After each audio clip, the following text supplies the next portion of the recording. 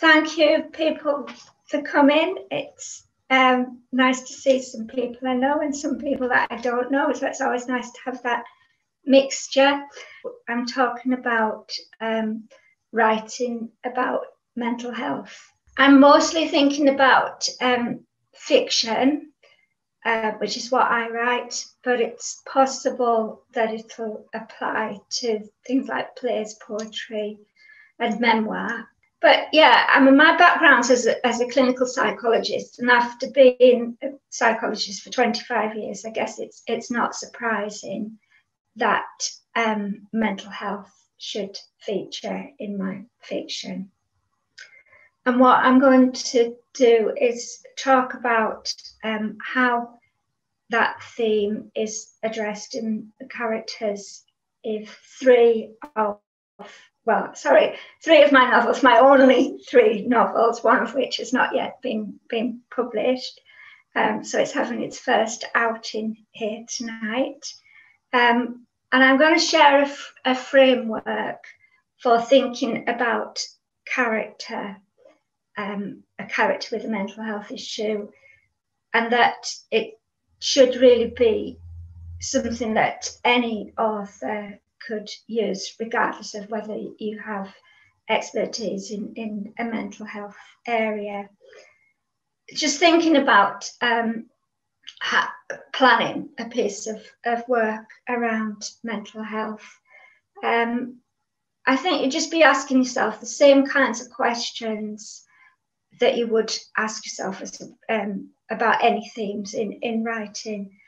So, for example, you know, what function does this serve within the story? So we're, we're prioritizing story or, or, rather than um, social issues, whatever.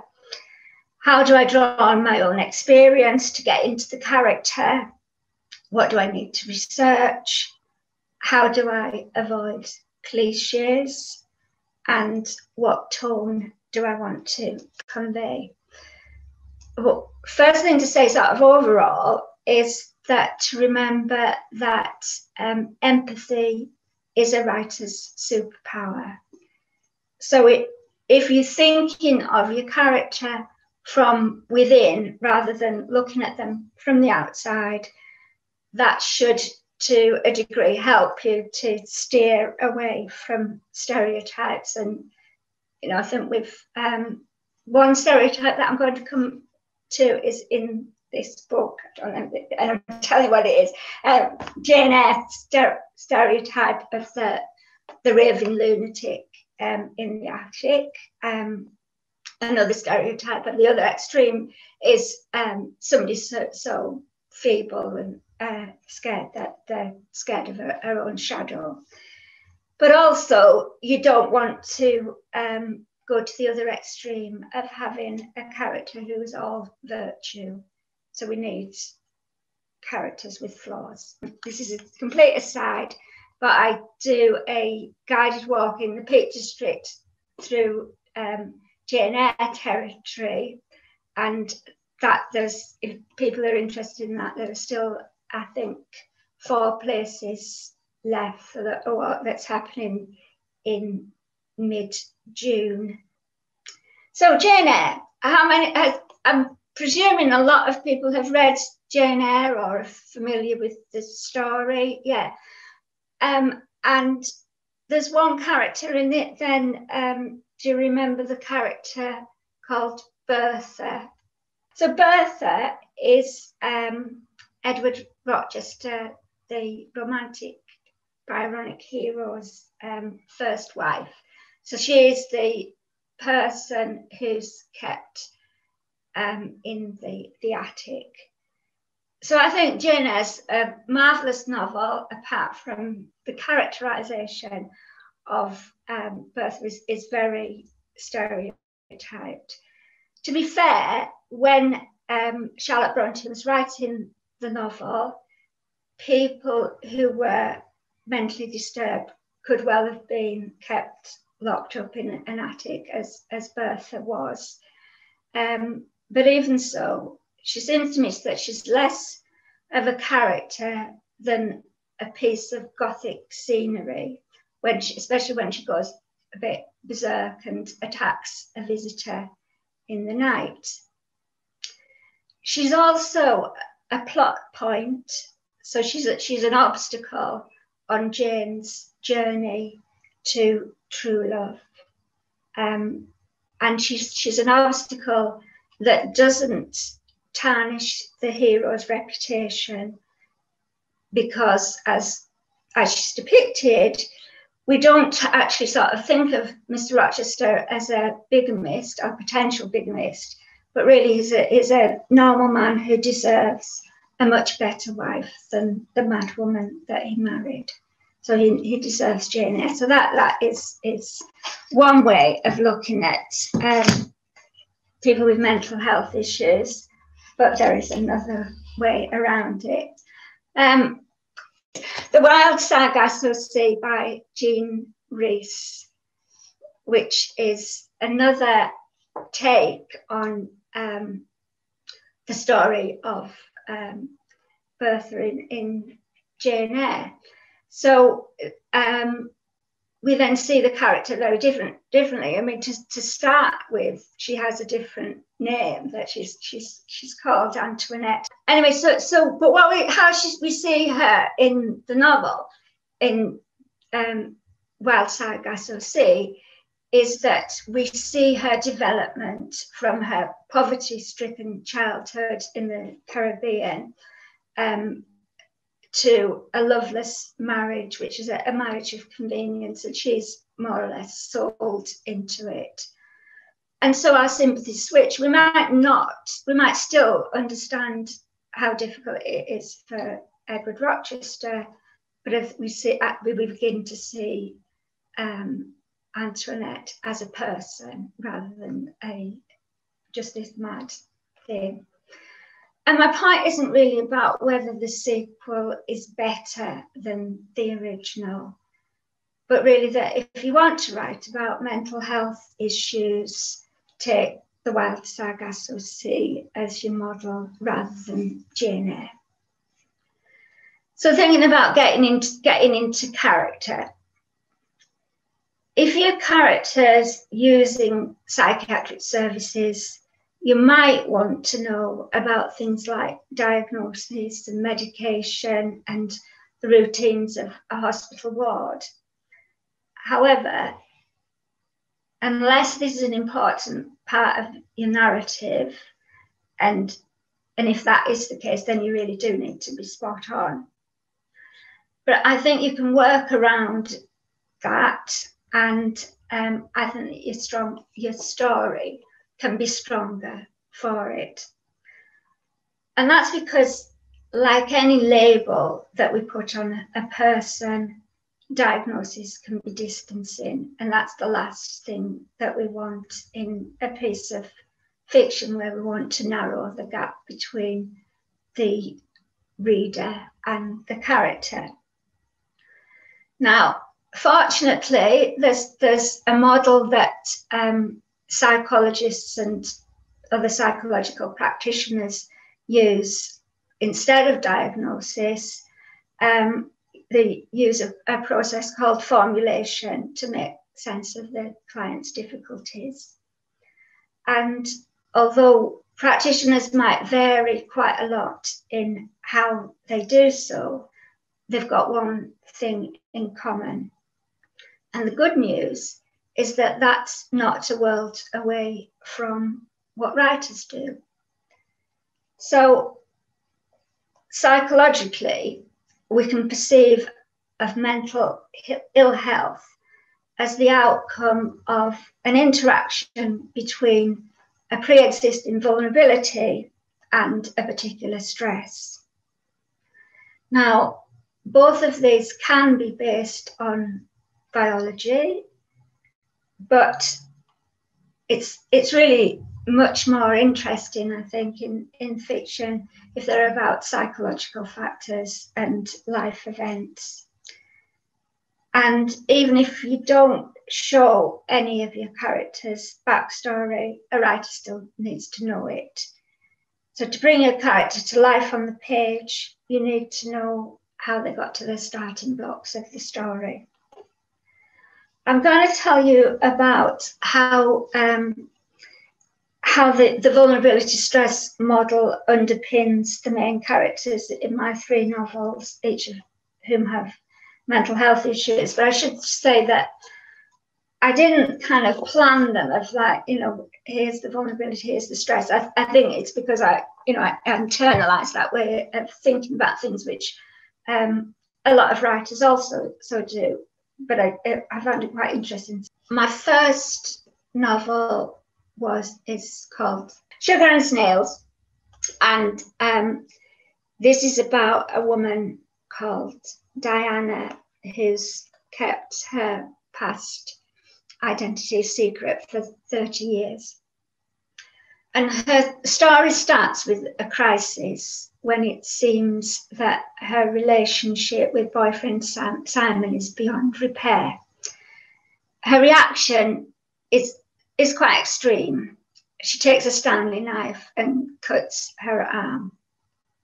And even without knowing the details of that breakup, the stressor is clear, as are, I, th- I think anyway, as are her mental health issues as someone who self harms. But it's not until about halfway through the novel that the reader is shown the full extent of her vulnerability. Having felt a misfit since childhood, she's desperately lonely but terrified of showing her true self. And there's more than one reason why she's felt a misfit, but she might have developed into a more secure adult if her parents had been less critical when she was young. And I chose to introduce that idea gently rather than through showing a big bust up or something. So in the first chapter, um, there's a very short flashback to her mother taking her to Lourdes for a miracle to fix her. But what if she wasn't actually broken?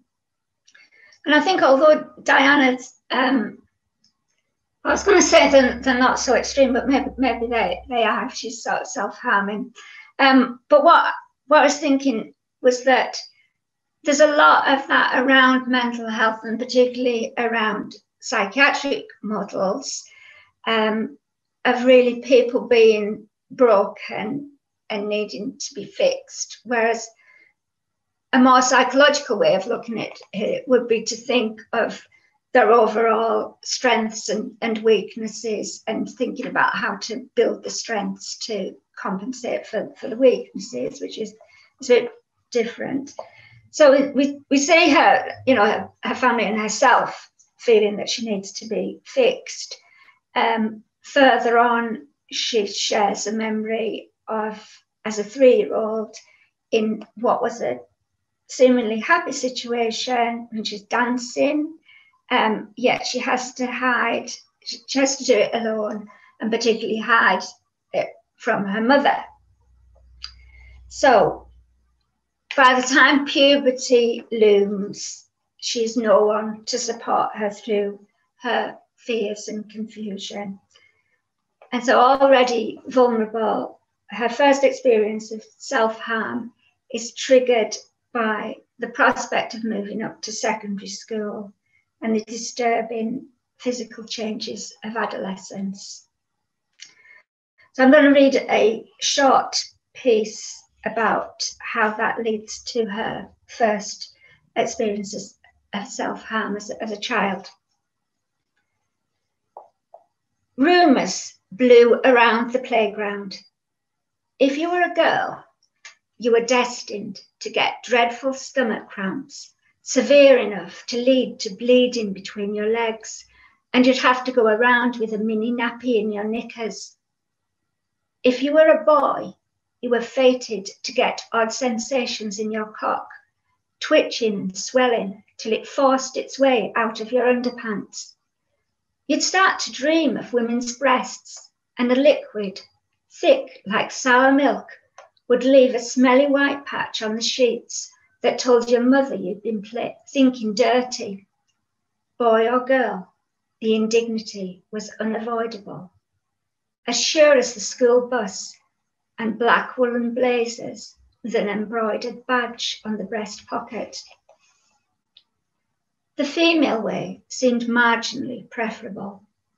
All that blood and pain could be a secret wound, like a saint's stigmata. I found where Patricia, my sister, hid her Dr. White's in the airing cupboard and made my plan. It was a Sunday afternoon.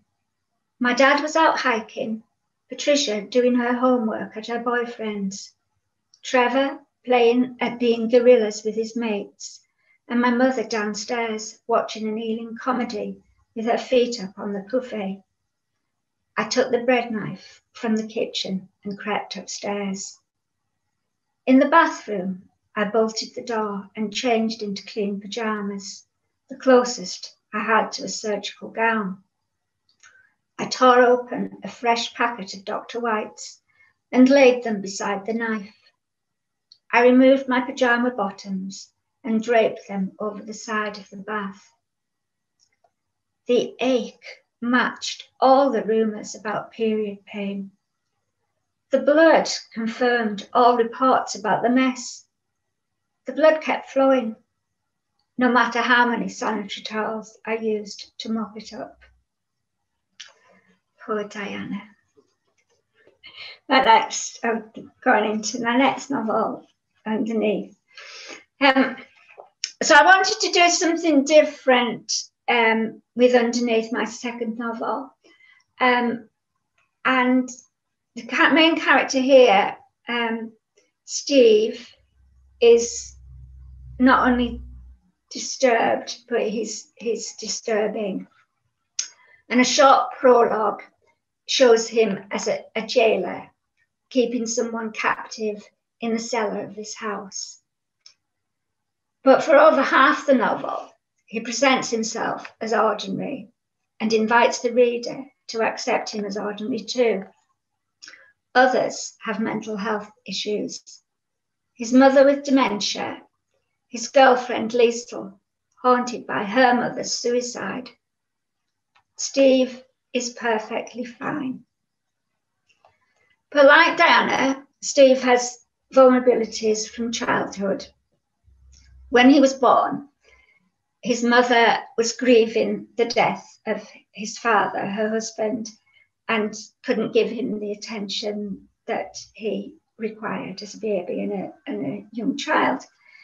And I'm sure that the impact of this in flashback scenes from childhood, but the adult Steve is completely in denial.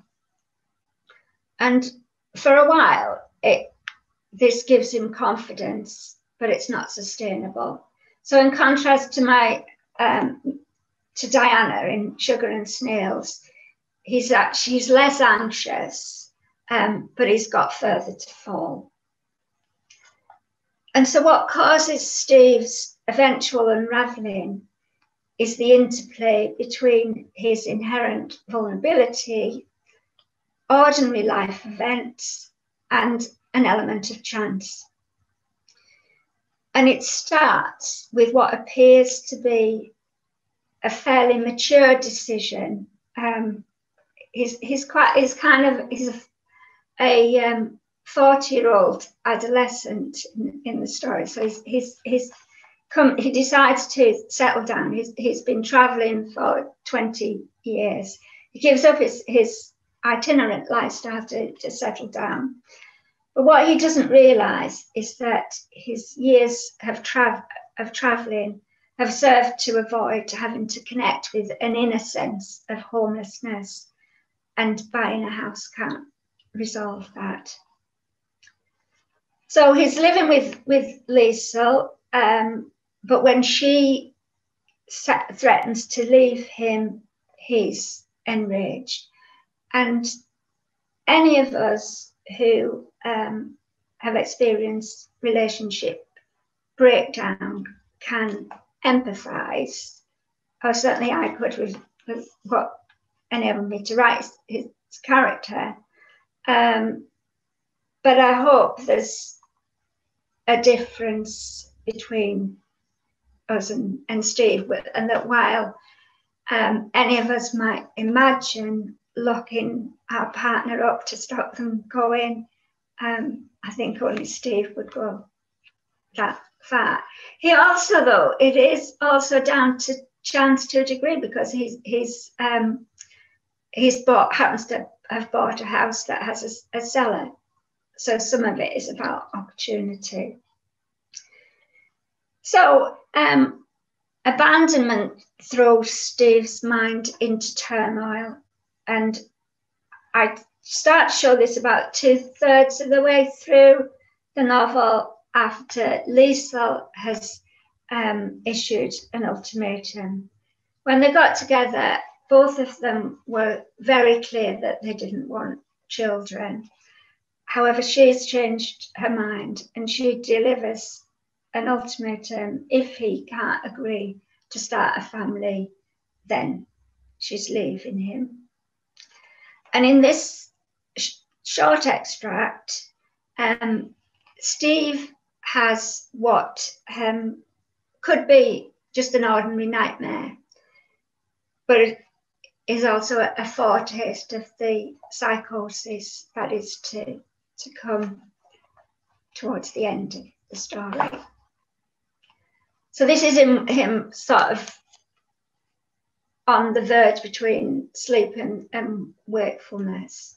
And often that is a, an, a strange time for any of us when, when we might have unusual, when we're most likely to have, if we're going to have um, psychotic like experiences, it's that kind of on that boundary between sleep and, and wakefulness when they might occur in people who are otherwise um, not considered mentally ill. So here's Steve.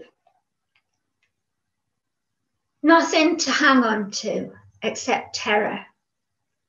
No certainties, no thoughts, no one to save me, and hardly a me to be saved. I was wiped out as if the teacher had chalked my name on the board and rubbed it out. Nothing to show I'd ever existed but a dusting of white on black. No point calling out. Instead, I should make myself small, quiet, inoffensive, merge myself with the blankness of the blackboard until the danger swept past. Yet I couldn't hold all the bits of myself together. I was all loose pieces, an unwieldy shape. I was a squiggle of lines, a tangle of barbed wire, a muddy puddle, nothing that made sense. I had no shield, no shelter, no way to brace myself against attack. I heard a lamb's bleat, an anguished squeak, my own voice betraying me to the monsters beyond. Kindness wrapped itself around me, flesh cradled mine. Not cold, not hard, not loud or sharp. Perhaps I might, against all odds, survive. The touch of skin on skin, arms around my body, a sweet smell I recognized but couldn't name. Shh, you're safe now. A whispering like a breeze. If I discovered who she was, she might help me find a route back to myself. Are you Miss Fothergill? you've had a nightmare, go back to sleep. And that, just for clarification, because it, out of context, it can be difficult to tell, but that's, that was his, Miss Fothergill was his teacher from school who was kind to him, and that was Liesl reassuring when, when he woke up. I'm not going to give a, a, I don't think I can give you a very good answer to, to this because I sort of don't know, but it's a good point to, to bring it in because both of those novels were in first person. And my next novel that I'm coming to, I love you, my next novel, um, is in the third person, but it's quite a, a close third person. So, in a way, you've got a, a, an opportunity to see if I manage to get closer. And uh, it's a, it's a huge area, isn't it? Really, sort of um, first or third person. And since we're among friends, to be perfectly honest, why I chose the third person for my um, next for my third novel is that there are actually three point of view characters, and I didn't think I could so easily write three different first person voice voices within that novel. I think when third person gives you an opportunity to bring in another perspective more, doesn't it? But I quite like to try and get that other side in through the character's point of view. Um, because I, I mean, it's quite a challenge, really, but yeah, you can't. And, and, but I think you can do as much um, with a close third person as, as a, with the first. Tracy asking, um, does it come from experience with, with my patients?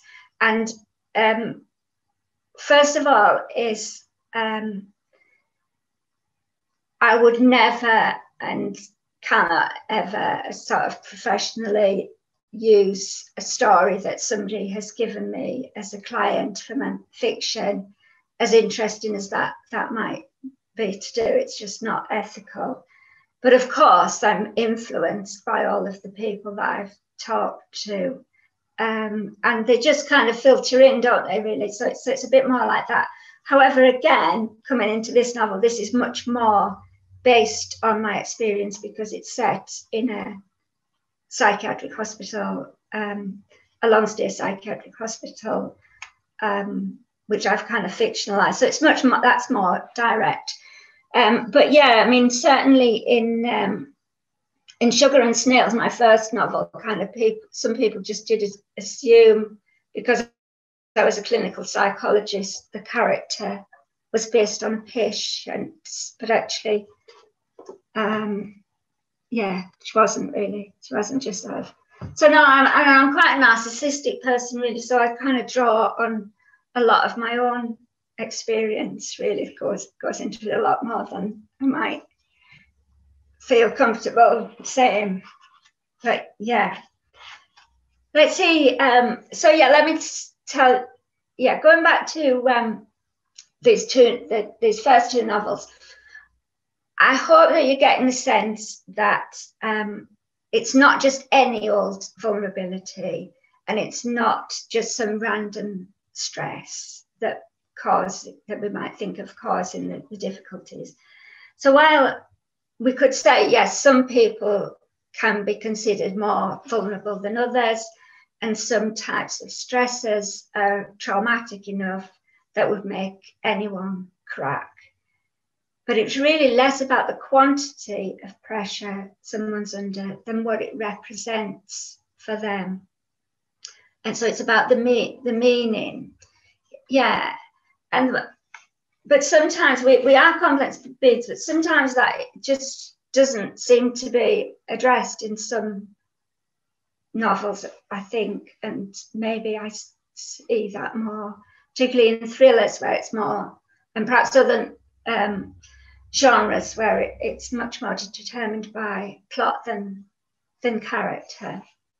I don't know um, but it, adolescence is a trigger for Diana because adolescence triggers uh, raises questions of identity, and she's never felt confident in hers.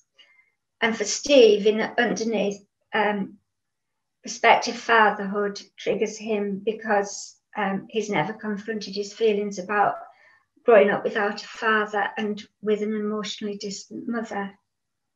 But as I said before, chance also plays a, part. And Steve might well have been a law-abiding citizen, citizen if Liesl hadn't changed her mind about wanting children. So of course it really boils down to it's always the woman's fault, which we already knew, knew anyway. So coming on to um, this novel, with Diane and Stevie, my first two novels, I've created characters with psychological issues that can fit under the umbrella of mental ill health. But it's the other way around with, with Mattie in this novel, Matilda Windsor's Coming Home. Um, because she's been defined by her diagnosis. But I want to show readers that she's much, much more. So Mattie's story is that she was admitted to Ghyllside Psychiatric Hospital, the famous hospital, in 1939 at the age of 20. And when the novel begins, 50 years later, you don't need a mental health background to recognize that she's mentally ill. But the question is was she mad when she arrived, or has the institution driven her insane? And the narrative throws up various possibilities consistent with that vulnerability stress model, but I leave it to readers to make up your own minds.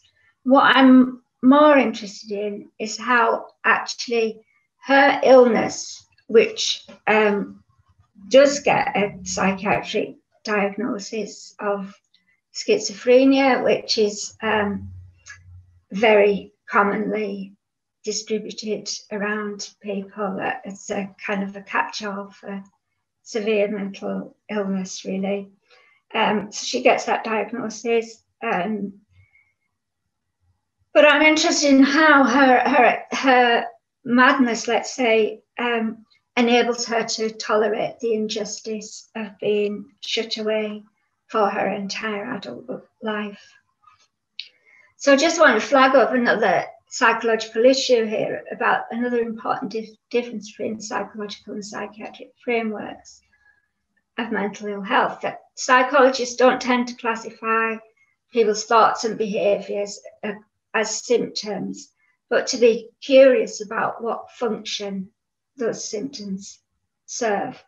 So going back to Diana again in Sugar and Snails, she might cut herself because it's the only way that she can let out the psychological pain. And Steve keeps a woman captive as a way of denying that he's alone.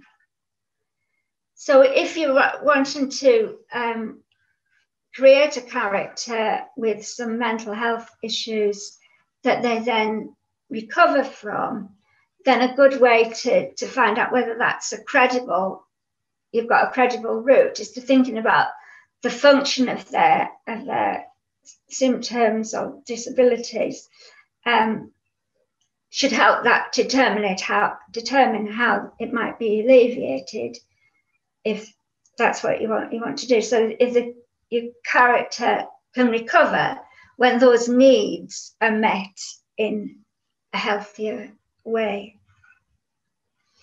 So back to Mattie. Um, as I said, this is a, a three three points of view in this, but uh, Mattie's the, the main character.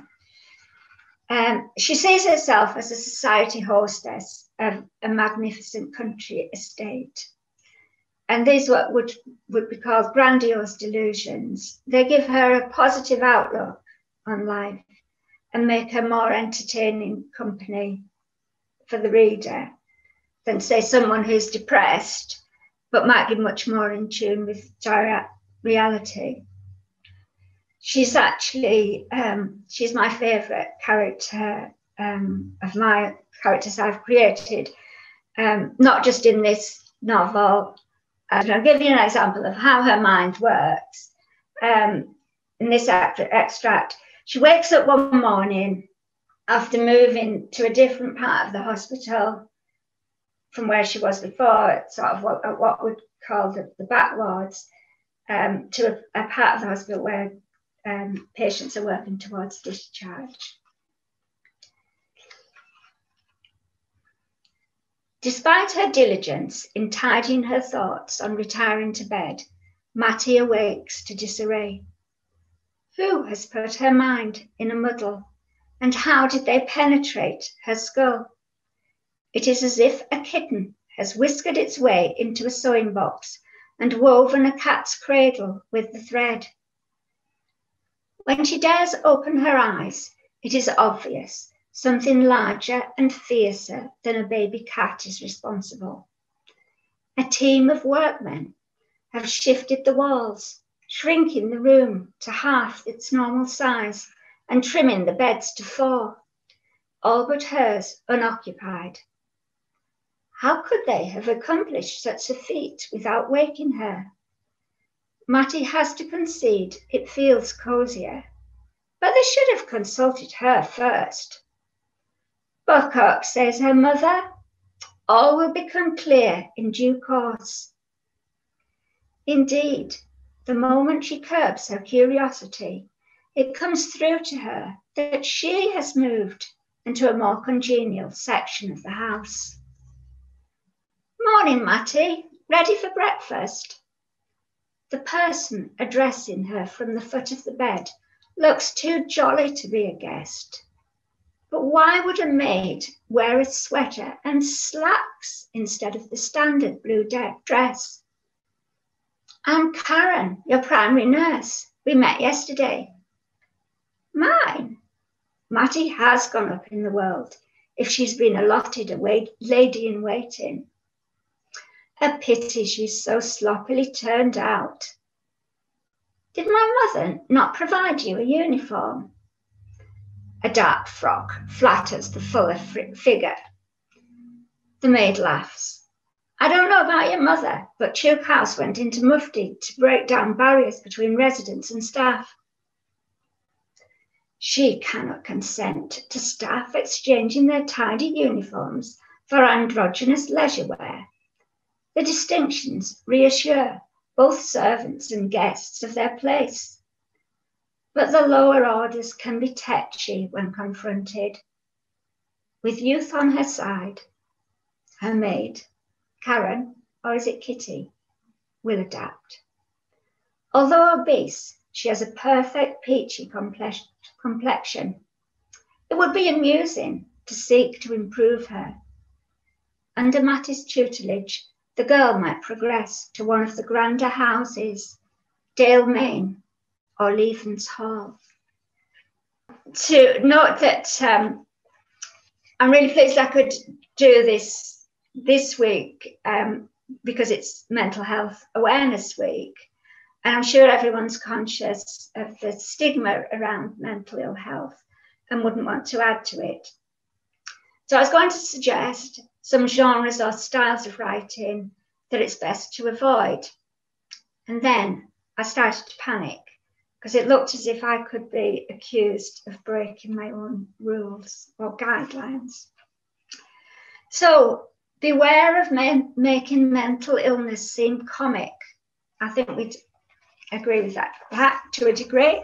So from the from the outside, delusions can be amusing, but is it disrespectful to treat them this way? with with Mattie, and I don't know if you if you thought that was funny or not funny or, or what, but I didn't I didn't set out to make her funny, and I was alarmed when I first found out that she was, and she's I mean it's only mildly, you know, sort of light humour, um, and it was actually a workshop that I did quite a few years ago at the studio with Kate Fox, who's a uh, successful comedian. Um, and that gave me some confidence that it was okay to to um, to put your humour into to subject a serious subject, and then early readers suggested that the the humour can highlight the underlying darkness, and and actually to me and to a lot of people, she's she's more heroic than foolish, really, because she is definitely making the best of a very difficult situation. And also, sometimes the, the joke is on the supposedly sane characters. So the staff who actually don't get the hints in her convoluted messages and her, her her um, some of the things that she she says that they miss, but the reader sees that because we we kind of there's another angle on her story. and also the upright citizens campaigning against having former mental patients move, moving into their, their neighbourhood.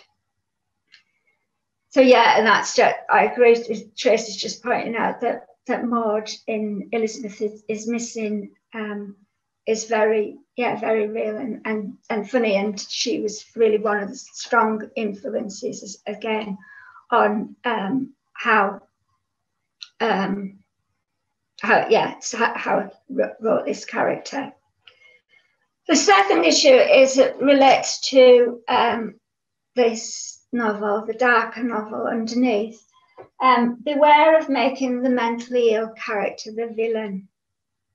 But one of the things that really, really annoys me, and I don't know if you noticed, but when um, someone with a severe mental illness commits a violent crime, they always give the diagnosis if they have one, and as if the implication is that the um, the label explains the assault. Yet, in fact, um, someone with a psychiatric diagnosis is actually much more likely to be the victim, and that isn't it isn't really an explanation of um, violent act- action. So, what about Steve?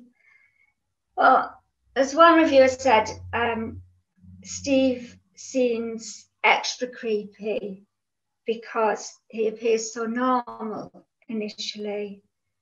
And um, so, you know, you too could have Steve moving or move into Steve's house, you know. Um, but it, it, it's, although he's got pockets of vulnerability, it's his um, criminality actually that pushes him over the edge. Did I feel any? I did feel. Thank you, Ian. Yeah, I did feel sympathy for Steve quite, quite a lot. And when I was writing it, um, my husband asked me, "Did did the story have a happy ending?" And I couldn't really, I couldn't answer that because it depends whose side you're on. And I find it quite difficult, even though I've got like he's a horrible character. I find it quite difficult that people don't don't like like him, and I find that quite a lot really because I'm looking from the inside, and obviously I also have to have a distance from them so that they can get their comeuppance or whatever, whatever or be punished. But um, yeah, I did, I did have sympathy. My favourite character character Mattie, Nikki, thank you. Well, um, I do, yeah, I do let go of the characters that um, with with Diana, my um, my first character who I spent a lot of time time with, and I did something quite recently. Of I wrote a um, a story, a little story based on um, another character in the novel because it's just for a bit of fun for on a, a blog, and there was a discussion about it, and people saying, "Oh, you could do this, you could do this, you could do this," you know, all these ideas there for where I could take it. But I thought, but I thought kind of not, no, I wasn't interested. So, yeah, I kind of let let those people go. My characters are often located geographically, not necessarily geographically in, in the novel, but geographically where I've thought most about them when I've been out and about. And there's a particular part of the Peak District called Bretton Clough, where I often find I speak, I think about Diana again, again when I go there, it sort of just comes so she comes back to me there, and I'm thinking, oh, where she, and I am thinking about where she is now because um, the novel's, I think, set in 2004, but I, and it was published in 2015. So there's a lot of time for that. But I have to say about Nikki's question about, about Mattie is I have not let go of Mattie um, because and it I mean I don't know if it was to do with um, the pandemic, although as I was saying to Tom earlier, it hasn't made a lot of difference to me because I don't actually get out much. But I was um, doing some edits this time, yeah, this time last year, just finishing off um, the edits.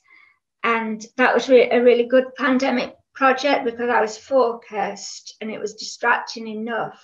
But on the other hand, it did, it wasn't it didn't ask, require me to um, create anything new. And but when when I'd finished and sent it off to my publisher, I thought, oh great, I had a few days where I thought, oh great, that's done. And I started to miss her very much. And um, and it's interesting because she was 70 in um, 1990. Yeah um, I just and and because she'd had all of these um, these experiences, you know, all, all this medication and things which isn't good for people's physical health at all. Um, I assumed she would be dead, and then I discovered that she's she was a hundred during the pandemic, and there is a sequel I'm work, so I'm working on the and the so I've set. I mean, it, it's set in the pandemic, so I don't know if that people will find that unbearable to read about. But she's in the care. She's in a care home in the pandemic, and she um, discovers that she's responsible for the transatlantic slave trade. So yeah, I'm quite enjoying, that. And yeah, it is a it is a part. I mean, Nikki, that's that's a. I agree with that point. It's a part of you that you put outside of yourself, but um, it's kind of outside and, and inside. But then maybe, and the other thing is, I, I think particularly when I do talks about sort of like threads through this, my stories, I find that well, I'm just writing the same story over and over again. There's always that kind of sense that you, you kind of keep coming back to it. So yeah, published by um, small independent press, Inspired Quill, based in Derby, and it's a very, very, you know, it's a micro press, but they're very, very nice to work with. Um, and they're very much into ethics and treating their um, their authors well, um, and they need they need all our support as well because they don't actually, um, as a lot of small presses don't. They they, they it's a very kind of hand to mouth operation, very difficult to get published. Um, yeah, I just just yeah, it is. It's you know it, it's um you get so many rejections and and sometimes that is because the work isn't ready certainly i mean with my first novel and it was sometimes it, it's um, a disadvantage to get some positive a positive response early on because i got um, yeah, very, very kind of positive response from a um, of a very, very different version of this. So I just thought I was just about there, and then I had a very good positive response from an agent's assistant who had read the whole thing. But then I was still, I, for years after that, I was I was still trying to get it published and and working on it and, and revising it. So I, I think, but sometimes I think I think we just under some people do, because I do know people who've actually, you know, got their first novel published and not, you know, worked on it a couple of years, and they think they think that's a long time. Because uh, I was seven seven years for each for um, for my first two novels from getting the idea to publication, and Matilda Windsor is is um, was was a lot quicker. That was six and a half years. So I think it it takes a long time for me any- anyway to, to get it done. Yeah, very very hard.